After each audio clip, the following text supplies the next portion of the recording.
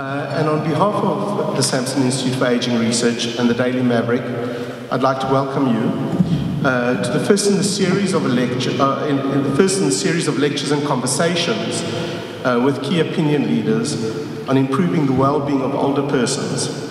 This series of lectures have been made possible by the family of the late Abe Rabinowitz. The Rabinowitz family have given this in the honor of Abe Rabinowitz, who grew up in Paarl and graduated top of his class at UCT as a chemical engineer. He was a lover of the outdoors, classical music and wine. Abe passed away three years ago at the age of 92, having suffered a long and devastating complex neurological illness. Uh, his family have sponsored this lecture series in his memory in order to acknowledge the outstanding medical care he received over the course of his illness and the critical importance of advancing holistic elder care in and beyond the local community, and to support those who are taking care of any elderly patient. His wife Evie is with us in the audience tonight. However, his four children are unfortunately overseas at present, unable to attend the first lecture. SIFAR is a non profit organization which has been established through a generous uh, grant from the Eric and Sheila Samson Family Foundation. Uh, we're also most grateful to the Daily Maverick, who have partnered with, in this series of lectures with us. Uh, SIFAR is based at Highlands House in Cape Town. Our work focuses on generating evidence on and awareness of the health, well-being, and social needs of older persons, and developing tools to support the provision of age-friendly health services, particularly at the primary care level. We also work towards improving the care and the training of caregivers who are working in the sector. Uh, the world is growing older. The concept of healthy aging is that of developing and maintaining our functional ability that enables well being into old age. The environment in which we live is one of the key features of maintaining our functional ability. Our environment includes our relationships that we have with others, the built environment, attitudes and values that are non ageist, uh, health and social policies and state institutions that can create an enabling environment for older persons. South Africa is faced with an enormous burden of disease relating to child and maternal health issues, infectious diseases such as HIV and TB, chronic diseases of lifestyle such as diabetes and hypertension, and the added burden of preventable deaths and injuries from trauma and violence. Uh, this leaves little scope for aging on the health agenda. However, with South Africa facing a demographic shift towards an older population and an estimated 15.4 million people going to be over the age of 60 by 2030, is it not now time for us to start addressing the needs of older persons as a matter of priority? Growing old is not a disease, and it should be one of our most fundamental rights and I thus come on to the third pillar, which will hopefully support SIFAR's vision, and that is to add the advocacy role that we believe that we as an institute have in, in playing in society. It's to engage with broader society so that the voice of the older persons can be heard, which will hopefully have an impact on policymakers so that positive changes can be effected. Tonight is a great honor to welcome Edwin Cameron, who, as you know, has been at the forefront of human rights activism for well over four decades in South Africa. He's one of the most progressive judges in the country and one of our leading intellectuals. He has led the fight for reform of HIV policy in the country, brought gender equality into the mainstream, and been one of the most vocal supporters for LGBTQI rights worldwide. D- despite his incredibly busy schedule, he has offered to launch the Abe Rabinowitz Memorial Lecture Series with a talk on the rights of older persons. At the conclusion of Edwin's talk, Marianne Thamm of the Daily Maverick will engage in a discussion with Edwin on issues that are relevant and open it up to the floor for discussion and audience participation. Thank you very much.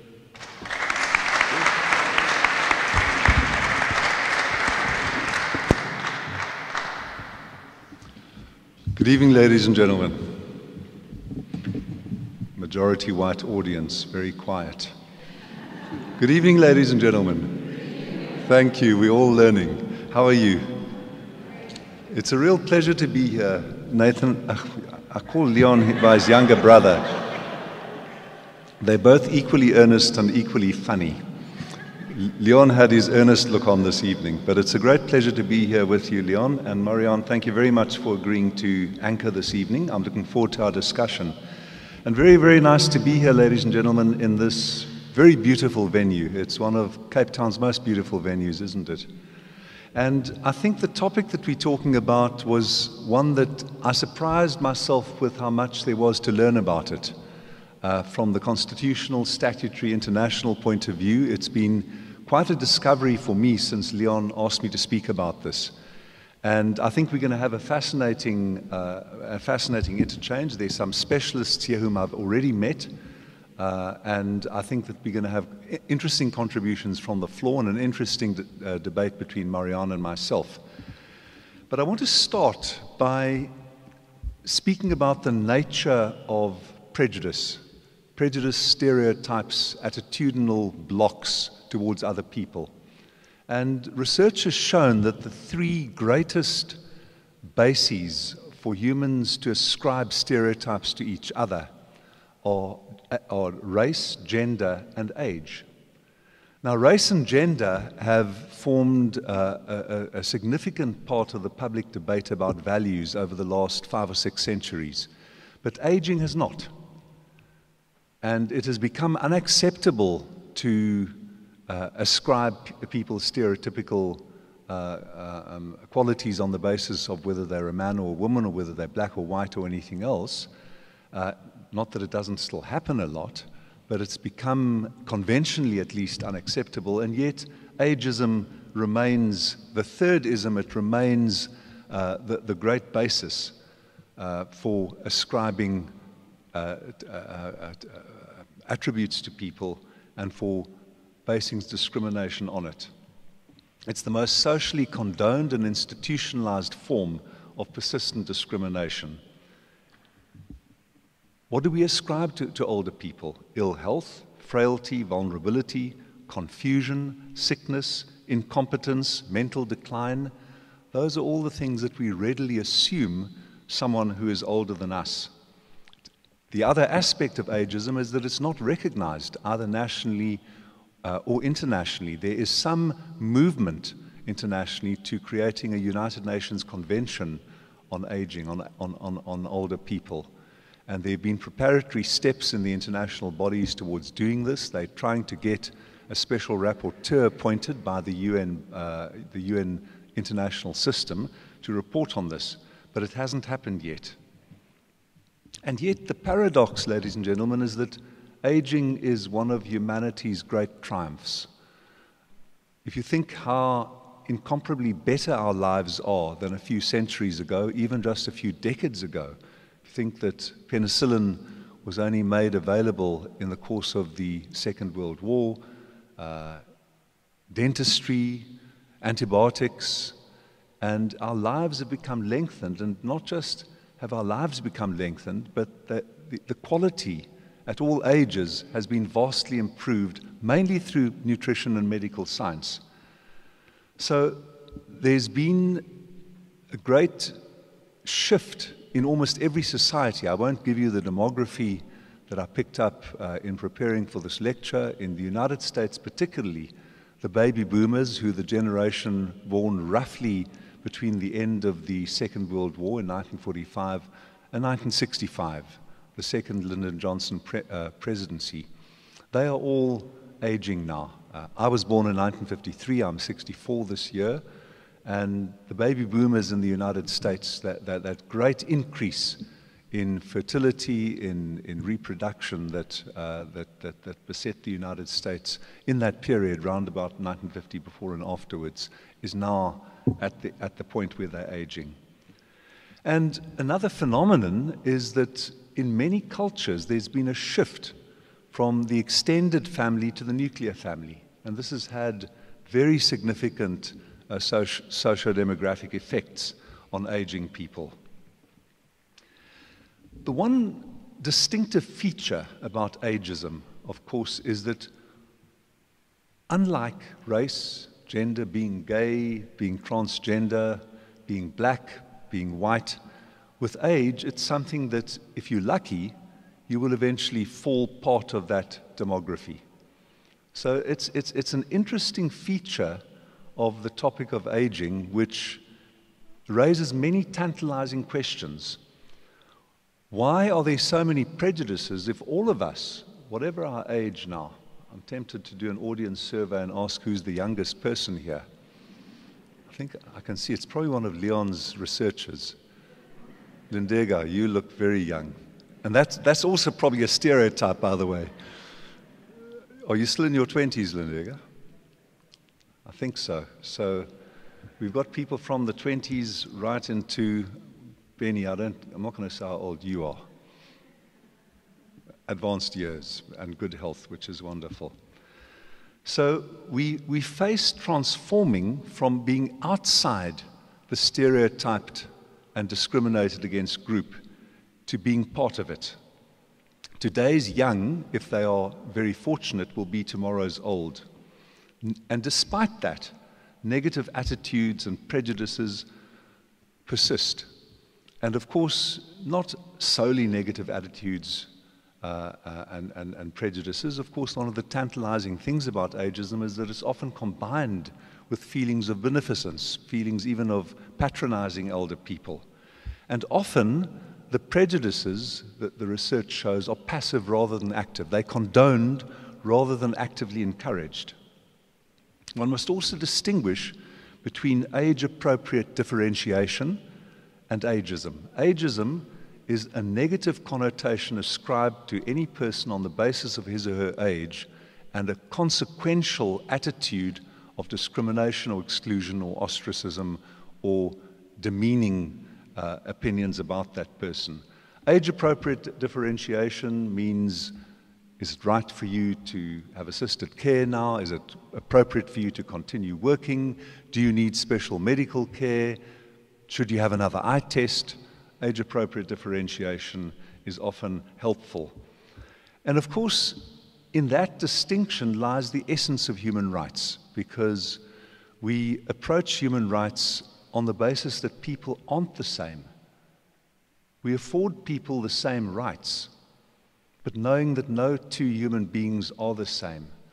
So, the complexity of human rights practice and of the court in which I work is that you have to find a human rights solution that is individually appropriate, but which is also uh, capable of, of being generalized, generali- generalizable ac- across, across all categories. Another fascinating thing about ageism, ladies and gentlemen, is its source.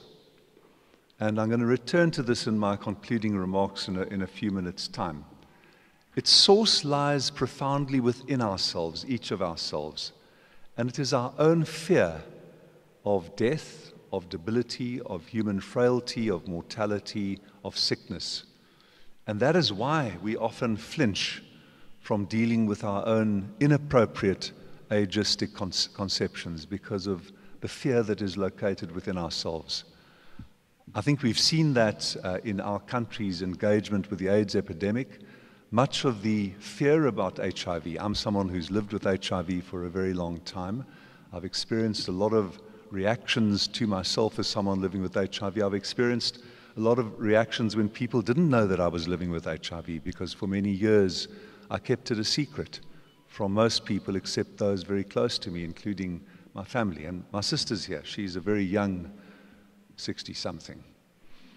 Uh, but of course, the response to AIDS, the response to cancer, the response to any human frailty is often premised on our own fear of that happening to ourselves. It's premised on our own revulsion at that, the idea that our own mortal term will one day arrive, and the inability to accept that. And of course, Sigmund Freud had something to say about that as well. A fear of loss of faculties, capacities, mobility, status, economic power, and then we compensate for that by resiling from the issue, resiling from the people, and becoming ageist. 23 years ago, although sometimes it doesn't feel uh, as though it really happened, given the events happening in our country now, we got a constitution. And our constitution got at its heart a non discrimination clause. And at the heart of the non discrimination clause are 18 conditions on the basis of which it is prohibited unfairly to discriminate against anyone else. Just talking about my throwaway comment about our present circumstances, Leon, when we walked in tonight, said they probably want you to talk about the SASSA case and what's happening in the country's politics rather than about ageism. And so we shut down the present discussion and talk about that, ladies and gentlemen. Marianne's being a very good moderator. She's being disciplined and saying no, quite rightly. And, ladies and gentlemen, one of those circumstances is age. So, we have a constitutional protection against unfair discrimination, but the paradox, of course, is that we also have constitutional protection against unfair discrimination on the grounds of sexual orientation, ethnicity, culture, language uh, skin color, uh, descent. So, in, in, in our very, very wide and encompassing, very warm heartedly progressive equality clause, we've got the widest set of protections anywhere in the world. And age is one of them. But, like with all those other conditions, the gap, the dichotomy between the constitutional aspiration and the lived reality is quite painful. The legislature also, Parliament has not been inactive. In 2006, it enacted a very, very fine statute. And I, I mention the statute because uh, it makes the point that I've already made about the disjunct between our aspirations for what things should be and the way things are in practice. It's a very fine statute. It, it's well crafted, it's articulate, uh, it's, it's, it's uh, finely conceived and well directed. It says that an older person is, in the case of a woman, anyone over 60, in the case of a man, anyone over 65, which is something paradoxical because, of course, women age somewhat more slowly than men, even though both men and women think the opposite. it focuses on a move from residential to community based care. It has a rights emphasis. And of course, like many of our statutes, it also has teeth. In section 30, subsection 1, it says that anyone who abuses an old person commits a criminal offense.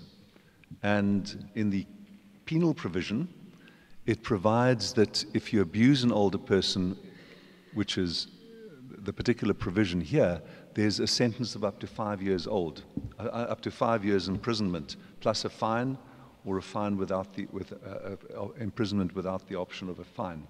I want to read you the definition of abuse. Abuse can be, it can be physical, sexual, psychological, or economic. And it's, it's very, very widely expressed, and I'm going to say something about that in a moment. It's defined as any conduct or lack of appropriate action, so it's both omission and commission, occurring within any relationship in which there is an expectation of trust, which causes harm or distress, or is likely to cause harm or distress to an older person, as defined, 60 plus or 65 plus. That constitutes an abuse of an older person. Now, there are lawyers present here tonight, apart from Benny. I think a lawyer would immediately complain that this is a startlingly wide definition, not just startlingly wide, because you can be wide but precise. It's startlingly wide and completely imprecise. And the lack of precision is not just in what is a relationship of trust, but it's what is a relationship in which there is an expectation of trust. And in who lies the expectation? Harm or distress? Harm, a lawyer would be able to define the legal precedents on harm. There are legal precedents on distress as well, but it's a much broader concept than harm. So, from my point of view as a constitutional judge, uh, I would say that this definition might be vulnerable. I keep an open mind. I keep an open mind on a lot of things nowadays, Leon including everything that's happening at the moment, which is why Marianne is right, we shouldn't talk about it. I've never had such an open mind in my whole life, by the way, ladies and gentlemen. I've got opinions on nothing, because everything might come before us, and who knows what it'll be. So, from that point of view, there may well be a, an interesting challenge to the ambit of, of, of, of that definition. And then I return to the point that I foreshadowed, ladies and gentlemen. We've got a very fine statute. The interesting thing about the statute, I was talking to my law clerk, my law clerk Daniela Lupini, who helped me prepare this talk, and she thought that there was an express prohibition in the statute against discrimination on the grounds of, of age. Interestingly, the legislature in the year 2000 enacted the Prohibition on Unfair Discrimination uh, uh, statute, which is called the Equality Act, Promotion of Equality and Prohibition of on Unfair Discrimination Act of 2000. And that contains a prohibition on unfair discrimination on the grounds, especially of, ra- of race, sexual orientation, uh, and, and culture and language. The statute doesn't enact that. It, it's, it's, it's an interesting anomaly uh, of, the, of, of, the, of the statute. And one would have thought that it did have, have a, uh, it, that it would have had a, a prohibition. We've had one case on age discrimination before our court. It's a case concerning a Captain Sali. He was a Xhosa speaking man from the Eastern Cape who was required by the police to retire at a specific time. He brought his case, and for many reasons, including that he hadn't raised the, the point about age, in either the Labour Court or the Labour Appeal Court, we declined to hear it. One of our colleagues, my colleague Justice Chris Jafta, thought that we should entertain the age point. The other 10 of us, very dully and, and uh, in, with great lawyerly sobriety, thought this was not the right case. But there's a case waiting there. And interestingly, one of the areas where there's the greatest discrimination against people on the grounds of age, not just for reasons of age differentiation, because you can no longer lift the load of bricks, or you can no longer walk the distance, or do the driving, or complete the calculations, or see the number of patients in, in your practice. That would be age appropriate differentiation. Most of our statutes have ageist prohibitions. The Labour Relations Act is particularly interesting here. It says that it will not constitute an unfair labor practice for there to be a retirement age in an enterprise. It's very interesting. It's never been challenged, uh, and that's another challenge which would be very interesting from a constitutional lawyer's and a, and a constitutional judge's point of view. Because in the European Economic Community and in the United Kingdom, there's no longer any formalized uh, retirement age. And in my view, that's where we should be moving towards. Of course, judges do have retirement ages. Uh, for most judges, the retirement age is 70. Uh, and in our court, there's a term limit of 12 years. So I will reach the term limit just before my 68th birthday when I'm 67. I'll have to step down then, but I'm entitled to retire next year when I turn 65. But I would certainly think that with a growing population of people upon whom we are not imposing ageist uh, stereotypes and, and, and, and preconceptions and prejudices, that we should be moving towards the position in the United Kingdom where you negotiate it with your employer, you work for as long as you're able to do the job in a proficient way. If you stop doing the job in that proficient way, there are ways to deal with it. There are performance appraisals and in performance inquiries, and you say to the person, well, it's, it's time to move on. And many people will be ready to move on at the time when it's appropriate. It's not as though it's going to be impossible to do that. Marianne, I've got three more points. How long have I spoken no, for? I'm not even, I'm not even watching. This Okay. Mind is open, time is open. I said to Marianne, I'm going to talk for Go 20 ahead. minutes. How long have I been talking for? Nobody's, ladies and gentlemen? nobody's coughing. Nobody's, Okay. nobody's asking. I think you should just carry on. Okay. First thanks. cough, I cut you off. That's a good deal. That's a deal. Thank you. Hmm. That was just because I prompted you psychologically. Someone coughed. It was, it was Benny That was Rabinowitz. very Rabinowitz. You coughed, Benny. Overruled. Thank you. Thank you. Marianne, we will keep Benny in check. Thank you. Ladies and gentlemen, Strans, Advocate Stransham Ford, Stransom Ford, who knows the name? Yes. He was, yes, He was desperately sick. And he was in the final stages of cancer. He wanted to have physician assisted termination, either euthanasia or suicide. The two are very different PAE and PAS. And the High Court granted him, appearing through representatives, an order in 2015. Judge Fabricius in the Pretoria High Court granted it to him. The difficulty with Judge Fabricius's order is that two hours before he delivered his judgment in open court, Advocate Stransham Ford had died. And when the state was appalled by the judgment, because it was a, a judgment to which I'll return in a moment, uh, the state appealed against the judgment to the Supreme Court of Appeal in Bloemfontein. And the state said, We don't want this judgment to stand because it, it okays both physician assisted suicide and physician assisted uh, euthanasia. The difference, of course, is that in the one, the physician enables you, gives you the uh, means to terminate your life, but that you take the last active step. Whereas with physician assisted euthanasia, the physician takes the last uh, active step. And that's what is, is, is licensed in, in both Holland and Belgium and other uh, northern, mo- mostly northern European countries, and increasingly in many states of the United States, Oregon, Washington, and a few other states. The Supreme Court of Appeal set aside the judgment of Judge Fabricius.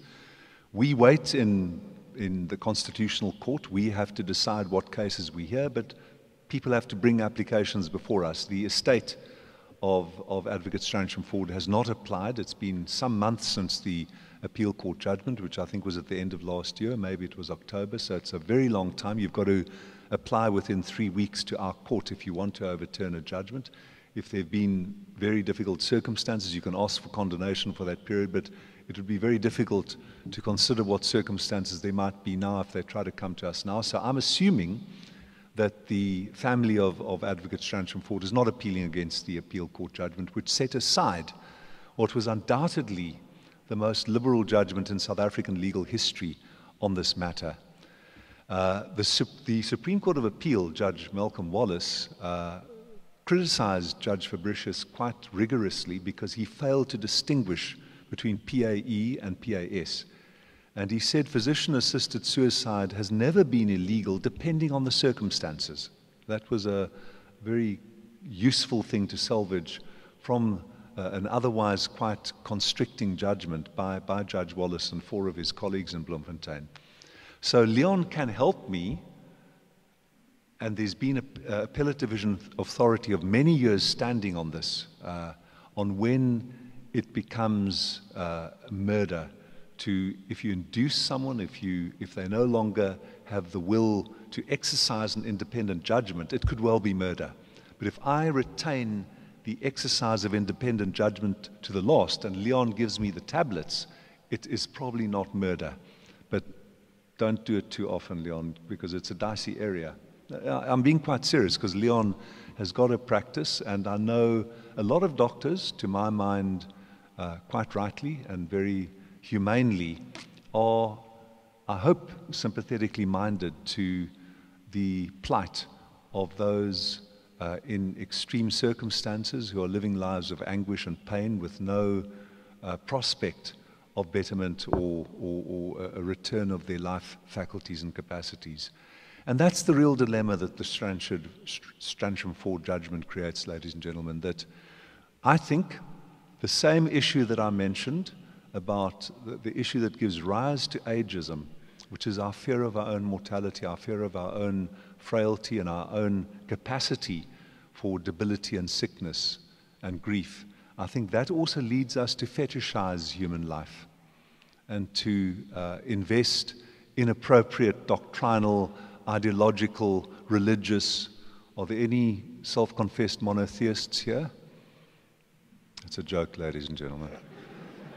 Leon, you're a self confessed monotheist, aren't you? But the, the, the, the, the, worst, the worst attributions of fetishization of human life come from, from monotheists. So, those of you monotheists, I'm having a go at you.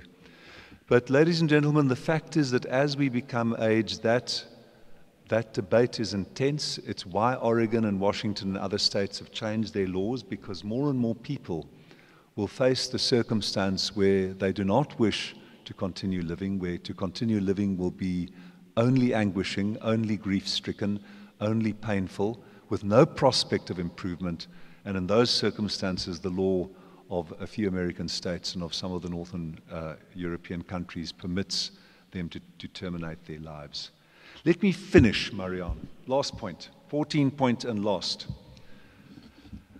I want to say, ladies and gentlemen, that, that we, how do we see each other? We all have the capacity to see each other, and depending on our own self perception, the more humanely we see each other, ourselves, the more capacity we have for humane viewing of another person and perhaps even for humane viewing of another sentient creature. I hope that there's some animal rights advocates here. Are there any animal rights advocates here? Any vegetarians? Thank you. No, thank you. you. You're concerned about sentience and about suffering. And that's a larger moral compass than most of us have, and I honor you for that. Do we see aged people as recipients of pity, charity, as claimants of time, of resources, as a source of demands upon us? Or do we see them as bearers of competences beyond our own, of knowledge beyond our own, of power and experience that can enrich our lives? Those are the choices that ageism and age appropriate differentiation offers us. And the good thing, and this is where I end, is the good thing about bigotry about people living with AIDS, the good thing about racism, the good thing about homophobia, unnatural fear of people like myself, lesbians and gays. You're a self proclaimed lesbian. Yeah, really. The good thing, ladies and gentlemen, is that if you have prejudices about us, is that you can start now on dismantling them. And that's the good thing about this evening that it's an affirmation, it's a breakthrough, it's the first time that I've ever been invited to talk about this topic. And it's a good moment for us to start because those prejudices and fears lie only here. They don't exist in the external world. Let us resolve, each for ourselves and all of us together, to make it better. Thank you.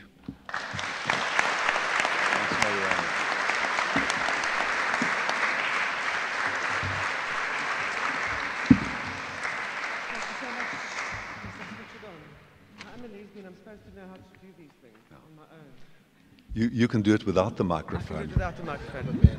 And you can do it too.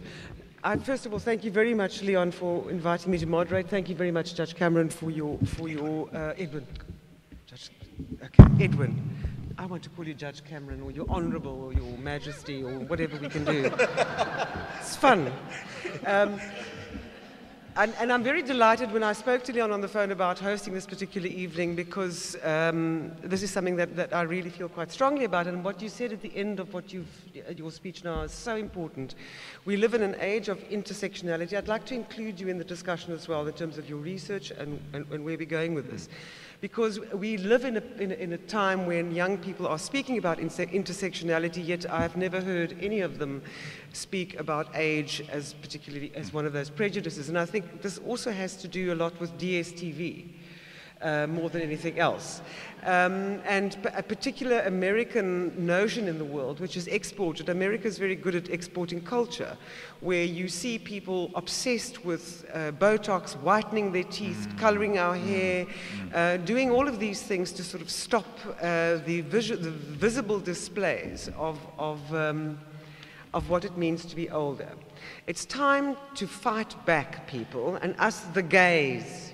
We've done enough of that fighting back. And I, I, often, you know, every now and again, uh, there was something on television one Sunday evening. It was a, two men and a woman in bed together at a six o'clock prime time show. And if you come from where I come from, I went into the lounge and thought, but my God, this, you know, can't be on television now. But the, then realized immediately the glory of it, that it is on television now. So it is possible, I think. Um, I'd like to try and speak about how do we pull together this. Uh, I feel like you've just pierced the scrim of something, and that we're needing to, to find a way of, uh, find concrete ways, first of all through campaigns and other things, of making this part of a national conversation. Older people uh, are often abused in ways that we don't think. They're seen as a resource, yet not as a resource. So economically, the number of families I know where older people are being abused by their children in terms of, you know, thinking that there's some money somewhere.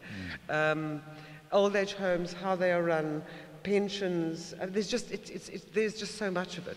So, uh, Leon, the, the research that you're conducting, um, I don't think anybody else is, is, is, has embarked on this at this particular point. Thanks, Marianne. Um, on the contrary, there are a number of people and colleagues of ours in the room over here, from people from the Northwest University, Jaco Hoffman, and from UCT, uh, Sebastiana Kalula and Marc Combrinck. Um, yeah, I mean, I think one of the things that we are interested in is a lot of uh, focusing on older people focuses on the geriatrics, the, the medicine, the health side of it. Very little of it focuses on the social side of it.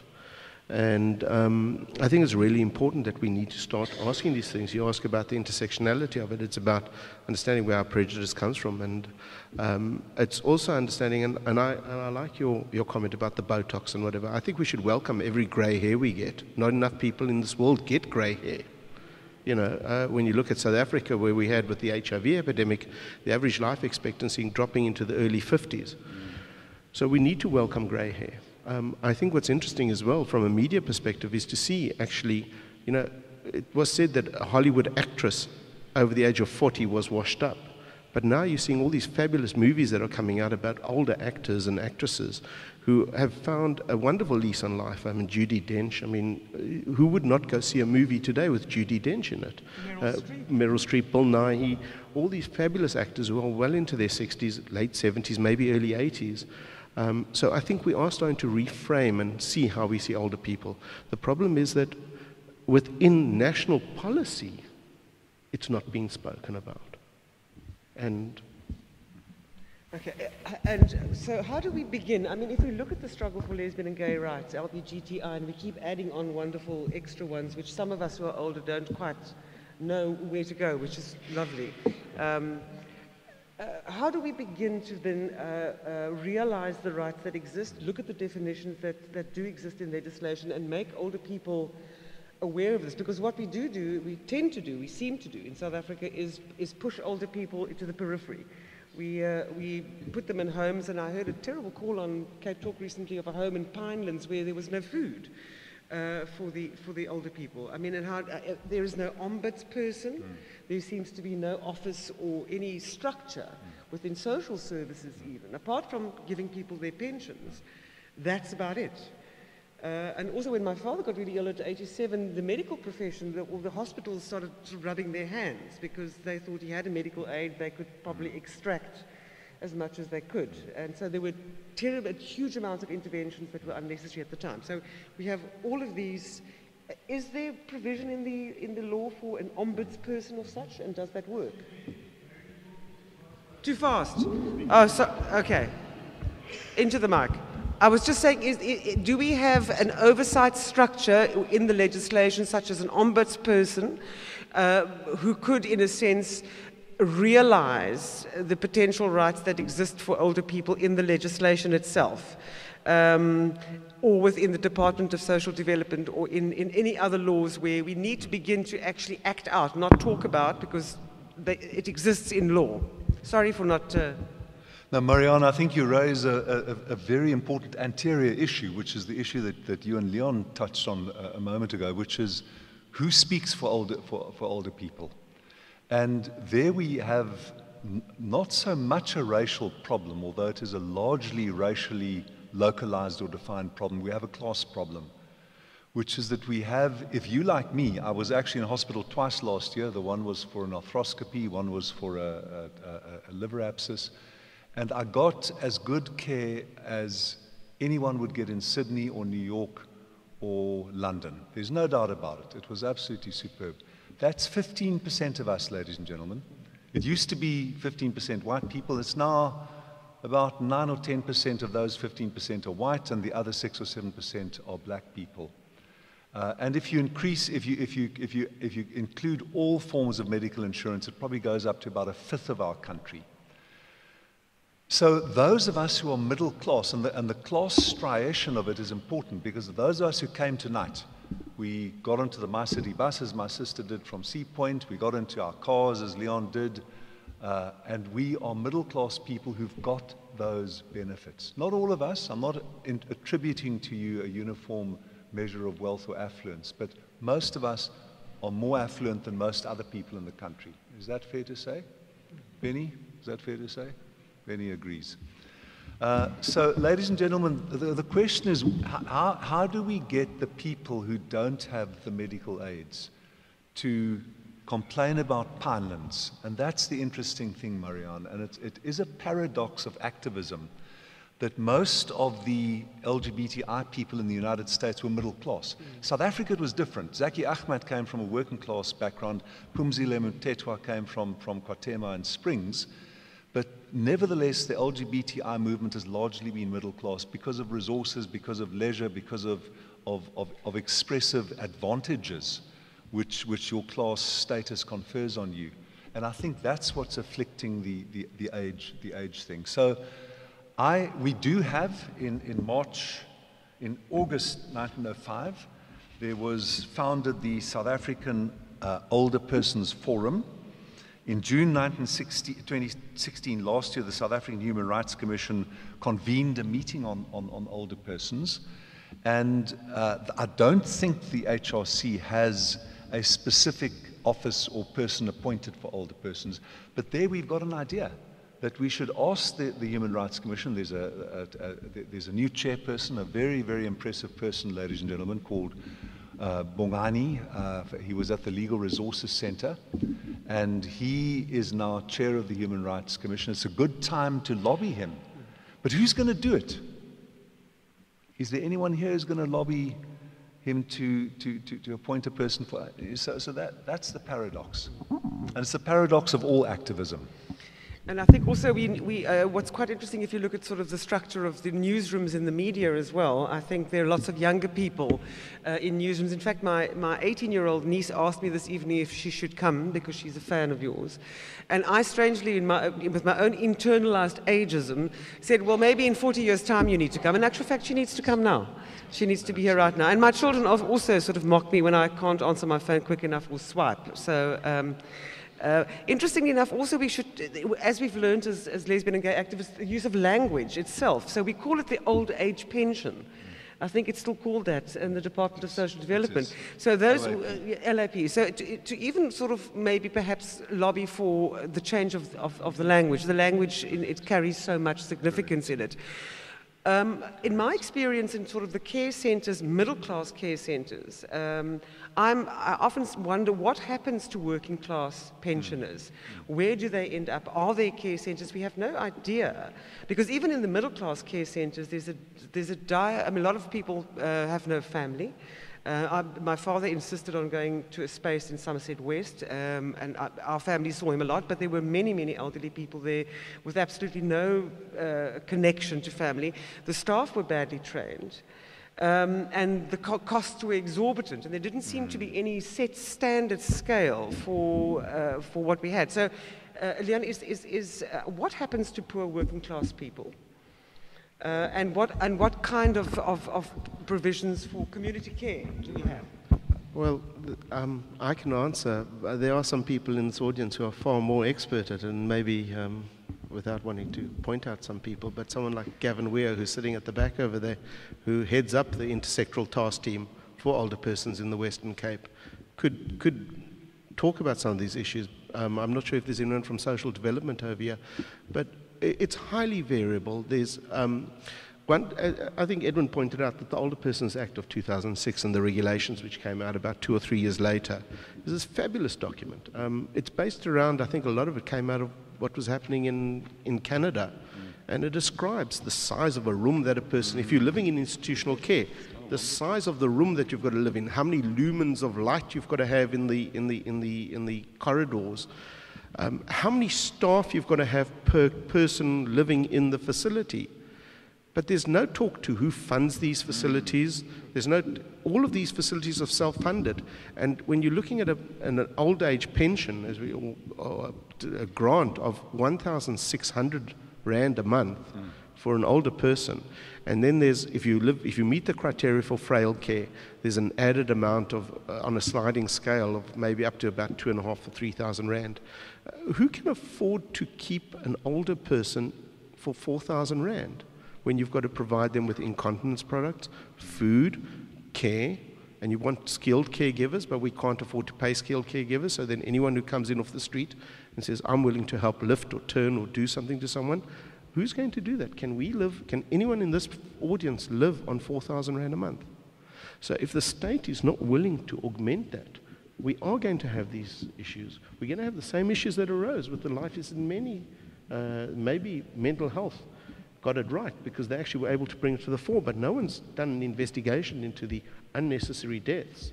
And we always point fingers at the service providers, but the service providers are, are living in an incredibly resource constrained environment. They can't provide the service that are demanded of them because there's no funds for it. And we're asking poor people to pay for their care and upkeep, mm. and, and they can't. Mm. On, on, many levels, on, on, a sort of meta level, for me, it, it, it, prays into the commodification of everything, particularly when one is desperate. And I think when we live in a world where um, everyone seems to increasingly be making, wanting to make a buck, uh, my father's little room was 15,000 rand a month. His pension was 4,000. Um, so it, the, the, you know, other people had to sort of help out. And he was middle class, worked all his life. Um, is, is, I mean, are there countries in the world where we have a model where there is some sort of cross-subsidization, where if you have a pension but not enough, um, like sort of these academic hospitals that people can go to, but we're very far away from um, even getting there. I know that we've got the Cape Old Age, what's a CPOA, where there are uh, provincial old age homes. Um, Avalon is one of them, and if you, if, you, if you go into them, they're horrendous. They're absolutely horrendous. Um, they, they smell of urine, they leak. Uh, nobody does any oversight visits. And uh, so, um, Leon, uh, yeah, uh, tell us a bit about the training of carers and whatever else. Seems like I'm hogging the floor, and maybe there. Um, I, I, would hate to, uh, Marianne, for, for the simple reason, as I mentioned earlier, there's, there's, I would hate to point fingers at any one facility. I think most of these facilities are running under incredibly constrained conditions. Um, and um, what, what often happens with large organizations that provide services to older people is that they, they take from the rich to pay for the services of the poor. So there's cross subsidization. Um, you ask, interestingly, South Africa, of all the sub Saharan African countries, I think we're the only country that's providing at this point an, an, old, an, old, an old age pension. Um, I've just been to a meeting in Geneva with the WHO, which I got back from today, speaking to colleagues of ours from India. Um, the, the pension or the social grant over there is $6 a month in terms of rupees. I think it's about 200 or 1200 rupees, something. It's an incredibly small amount. It doesn't go to pay for anything.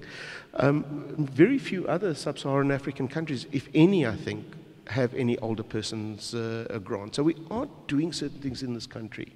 Question is, we we, we have an expectation, and that's why this legislation is possibly needs to be relooked at. Because as you say, it's a wonderful act, and I wonder how it does fit in with what, what when we have such, the, you mentioned the disjunct between fabulous legislation and service delivery, and who do we hold accountable? Who do we go to with the piece of paper and say, now you've got this legislation, who's going to actually enact it? And Leon, just, just to make one point, uh, uh, the, the Act actually looks at this resources thing. It says regarding implementation of the Act in Section 3.2, recognizing that competing social and economic needs exist, organs of state must take reasonable measures to the maximum extent of their available resources to achieve the realization of the object of the Act. Well, again, it's a goal. Uh, the regulations don't actually, as you say, specify where the resources going to come. This proportion of a provincial budget, this proportion of a local authority's budget, this proportion of the national budget must go there.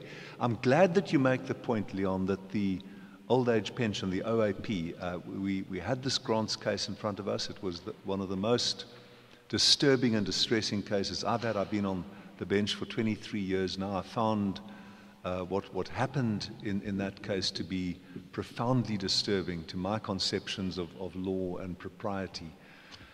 And of course, why that was so was that the, the, the, livelihood of 17 million people, the most vulnerable people, and a large contingent of them being uh, older persons, old aged persons in, in, in, in, the terms of the Social Security Act, were at risk. And, and be, because of, of what we describe in our judgment, and I think justly so, reckless conduct and heedless conduct on the part of the executive, they, it was put at risk. Uh, so we've done that, but it's precarious. We've done that, and of course, it, it's, it's, it's, it's an achievement. The whole social grant system is one of the great achievements of our country.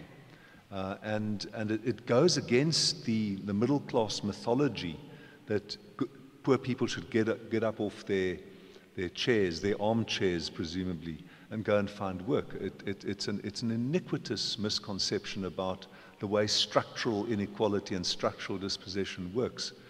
So the grant system is prized, but Leon, the, the, the question, Marianne, to get back to the precise question Marianne's asked, it's, it's, a, it's a question of resources, and resources are allocated in response to pressures. That's what politics is about. And we don't have a lobby for older persons. That's where we are. Okay, I'm going to um, open uh, uh, the floor to some questions, and I think a very important point that was raised here this evening, if any of you are in contact with politicians, and often one has to take a shower afterwards, um, uh, I think we should begin to lobby where we can. Um, uh, as at the Daily Maverick, I've just um, we will undertake to highlight this. I think you, are doing an exhibition as well. You're taking photographs. There was a wonderful book that was published recently, I think in the States, of older, older people. And if, if we had to apply current attitudes, Nelson Mandela would never have been our, our president. Um, so while one understands the, old, old, the older pe- persons, we must move on. Uh, we don't have to be moved right out onto the periphery. Um, Marianne, just as an antidote, and before you throw it open to the floor, may I point out that the oldest person ever selected for a first term of presidency in the United States is the current incumbent. well, in that case, we should apply very strict retirement rules, perhaps, make an exception. Um, Maybe he can join the president just north of our borders. They can check in at Nkandla. They can. Uh, all right. Um, just raise your hand if you if you if you have. Uh, we Thank would like you. some expert uh, opinions if there are any. There's a. Thank you, uh, Chair. Over here. Oh, oh, you got. It. Okay. I think I have the mic. Oh, you do have the mic. It's um, it gives me quite an advantage. Pete, Um, Peter Storey, would you ask our speakers to identify themselves? well, yeah, my name Yes. is uh, Peter Storey. Um, as I've listened, it's crossed my mind that we, we've had a lot of talk about um, what is essentially a Western model of uh, caring for people. We talked about size of rooms and luminosity of corridors and things like this. Um, and then we've admitted that we just don't have the resources to ensure that the elderly of our country are going to be catered for in that way. It's going to be a small minority.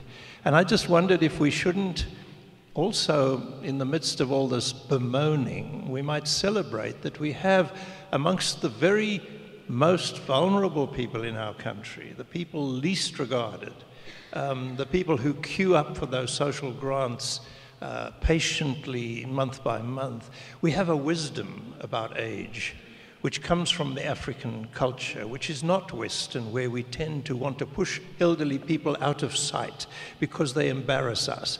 But instead, we have a, a, a fantastically wise culture about age in African culture. And we can learn from the very people who perhaps are most voiceless, but yet have the greatest wisdom about that. Thank you.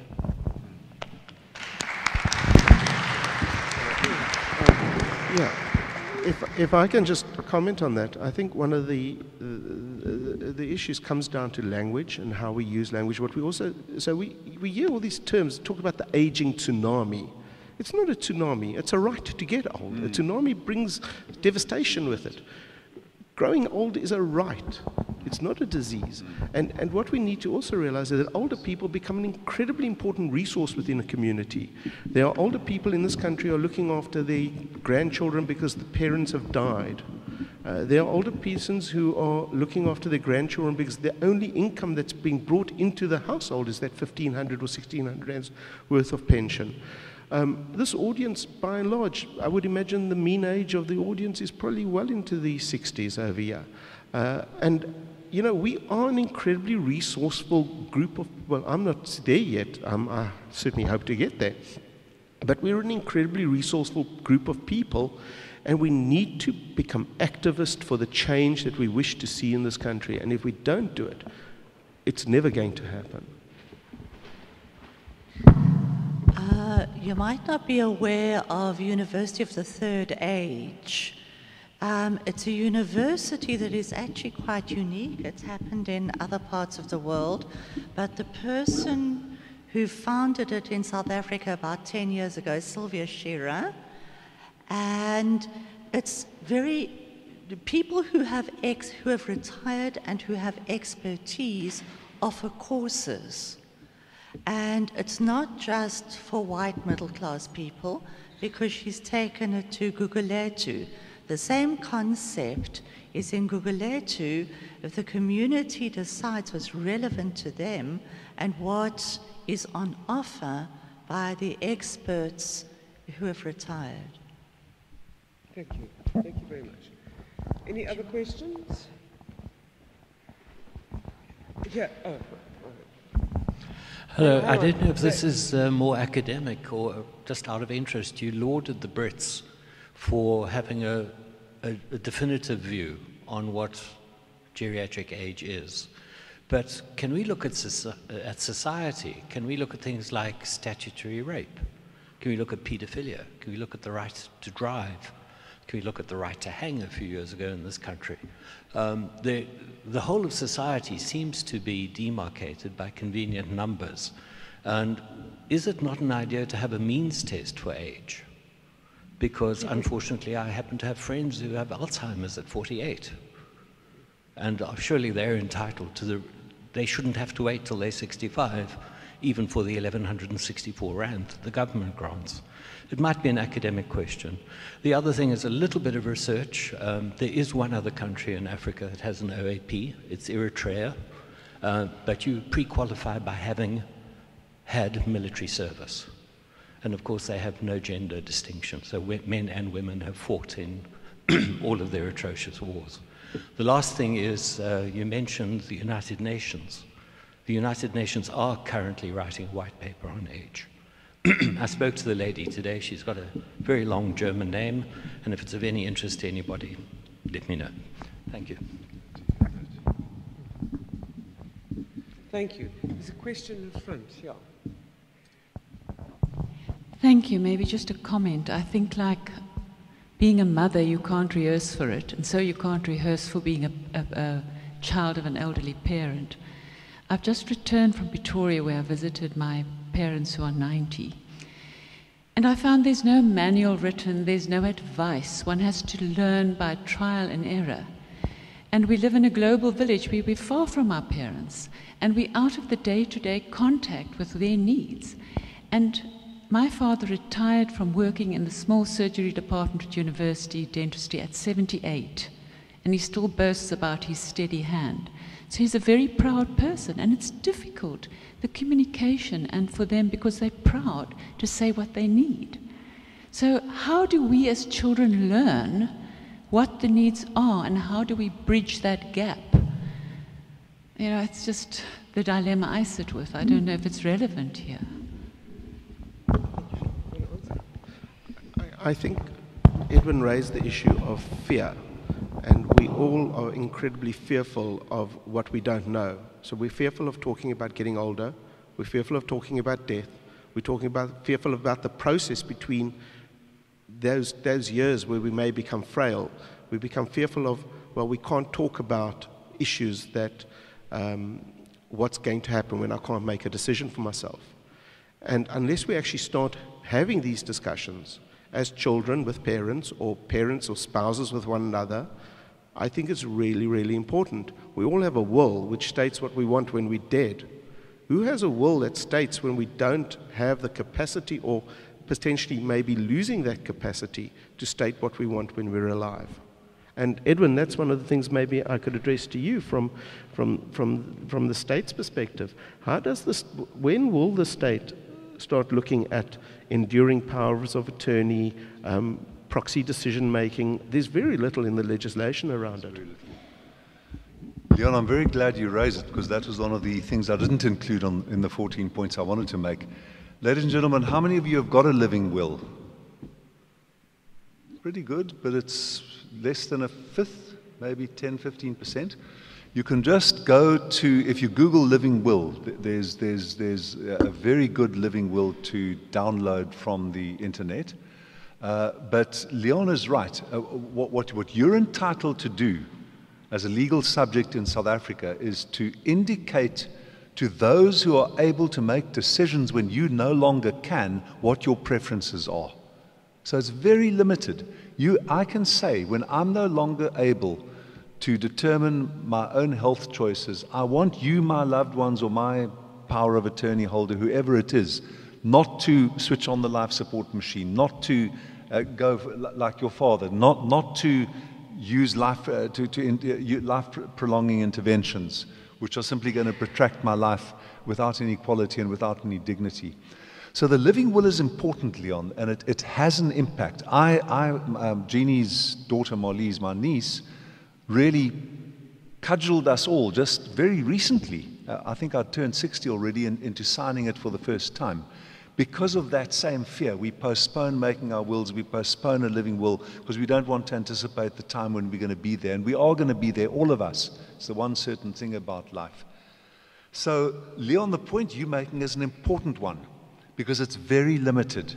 And without statutory intervention, or as Judge Fabricius tried in the, Str- in the Stransham, Stransham Ford case, um, without development of the common law under the Constitution, you're not going to get greater. He got slapped down by, by, the, by the Supreme Court of Appeal.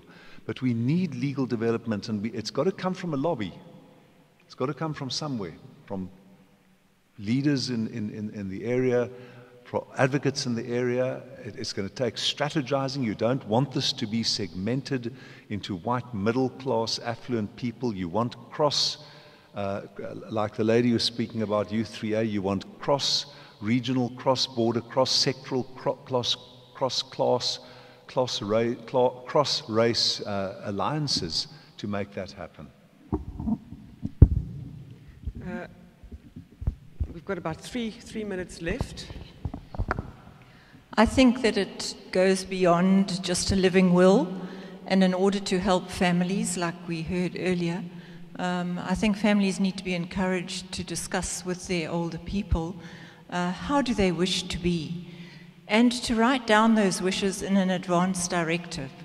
Uh, if you go onto the Dignity South Africa website, you can get a copy of an advance directive which has far more detail and goes into far greater depth about how I wish to be should I be in that situation where I'm unable to express myself, unable to tell you who care for me uh, what my greatest needs and wants are.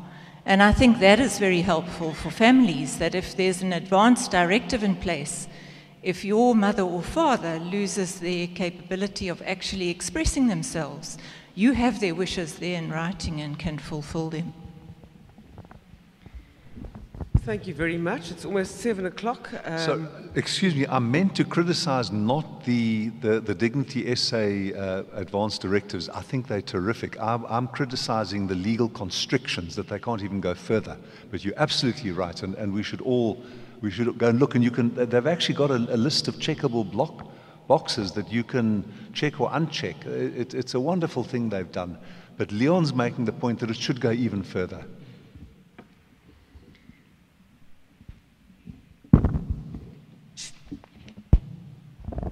Hi, just a quick comment. We're talking about when our older people are getting to a point where they are, are leaving us.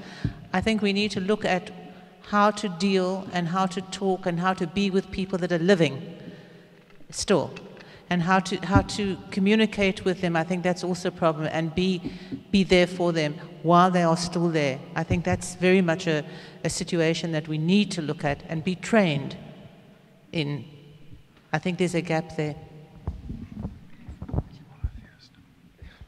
Any more questions? What's very important about this evening is what, has, uh, what, what I feel here is that there's an enormous amount of, there are resources and people willing to take this further. We will at the Daily Maverick. There are, you know, if we, in, with regard to you looking after your older parents, uh, I learned a lot uh, from the staff in the home who would say, give your dad Maggie mix because he's, you know, he loses, he needs electrolytes.